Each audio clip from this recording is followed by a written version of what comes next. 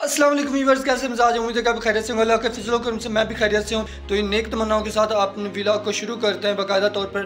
तो मैं आज कहना चाहता हूँ कि लोग कहते हैं कि तुम कामयाब नहीं हो सकती यूट्यूब की दुनिया। मैंने कहा, क्यों नहीं मैं कामयाब हो सकता? लोग, क्यों मैं ऐसा? मतलब वो कहते हैं कि आप में काबिलियत, मैंने कहा, काबिलियत करने से आती है, ऐसे तो नहीं ना बातें करने से आएँगी। मैं मेहनत करूँगा, क्यों नहीं कामयाब हो सकूँगा? कहते हैं कि इसका काम का उसूल होता है। मैंने कहा, मैं उसूलों से काम करूँगा। आप मुझे आप मुझे ये क्यों बातें कहते हैं? या मेरी मेरी हौसला शिकनी क्यों करते हैं? मैंने कहा कि मेहनत मैं करता रहूँगा इन कामयाबी हो जाऊँगा। तो आप क्यों इस चीज़ के पीछे पड़े हो कि तुम कामयाब नहीं हो सकते, कामयाब नहीं हो सकते। लोगों वो कहते हैं कि यूट्यूब पे इतना ट्रैफ़िक बन गया ना अब व्लॉगर्स का तो तुम्हारी इसमें जगह बन ही नहीं सकती। मैंने कहा, क्यों नहीं बन सकती? ये जगह बनाने में मैंने अपना दिमाग लड़ाना है।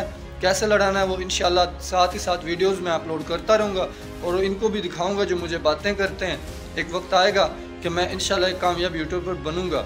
अगर मुझे एक से दूसरा चैनल बनाना पड़े, दूसरे से तीसरा बनाना पड़े, तीसरे से चौथा बनाना पड़े। हती कि मुझे जितने भी चैनल बनाने पड़ेंगे, बना लें, बना लूँगा। लेकिन मैं इन शाला यकीन मैं कहता हूँ, अल्लाह पे भरोसा रख के कहता हूँ कि मैं एक दिन ज़रूर कामयाब होऊँगा इसमें तो यार, हमारा भी वक्त आएगा, हमारे लिए भी अल्लाह ने जगह रखी हुई है। ये नहीं कि अल्लाह ने जगह नहीं रखी हुई, हमारे लिए अल्लाह ताला हर चीज़ का एक गैप होता है। जैसे दिमाग में चीज़ देने के लिए, दिमाग को चीज़ देने के लिए ना अल्लाह ताला चीज़ों को क्यों ये भूलने वाला कॉन्सेप्ट अल्लाह ने क्यों रखा हुआ दिमाग में? इसीलिए रखा है कि जब बंदा भूलेगा, इसे नई, इसके दिमाग में एक स्पेस आ जाएगी। तो नई चीज़ को दाखिल होने का मौका मिल, इस ऐसे ही अल्लाह ताला ने हर काम के अंदर एक स्पेस रखी हुई है, उसमें से दूसरे बंदों को मौका मिलता है। ऐसे देखें ना, कितने अरसे से लोग काम कर रहे हैं यूट्यूब पे आते हैं, कुछ लोग कामयाब हो जाते हैं और कुछ रह जाते हैं। ऐसे ही खिजर उमर जैसे लोग जो हैं और वो दूसरा डकी भाई जैसे। पहले तो लोग तो मेहनत करते हैं, लेकिन कामयाब नहीं होते। तो जो लगे रहते हैं उन्हें एक ना एक दिन कामयाबी मिल जाती है। व्यूवर्स कुछ बात ये है, बात कुछ ऐसी है कि मेरे कुछ दोस्त मुझे कहते हैं कि आप ना यूट्यूब छोड़ दें। आप यूट्यूब के यूट्यूब पे आप काम करना, आपके बस की बात नहीं है। मैंने कहा, यार, ये कैसे मुमकिन है कि मैं यूट्यूब पे कामयाब नहीं हो सकता? और वो चुपके से दूसरे दोस्तों के ज़रिए मुझे पैगाम पहुंचाते हैं कि भाई आप यूट्यूब पे कामयाब नहीं हो सकते। आप वो डायरेक्ट मुझे नहीं कहते क्योंकि कुछ लोग होते हैं जो ये नहीं चाहते कि हमारे भाई, हम अपने भाई के साथ आमने सामने रूबरू होकर बात करें।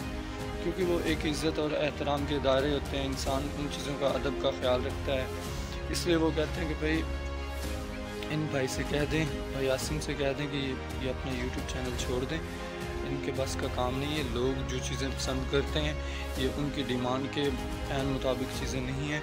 तो प्लीज़ वीवर्स मैं ये आपसे ये कहना चाहता था कि आप क्या कहना चाहते हैं इसके मतलब मुझे यूट्यूब चैनल छोड़ देना चाहिए कि नहीं छोड़ना चाहिए?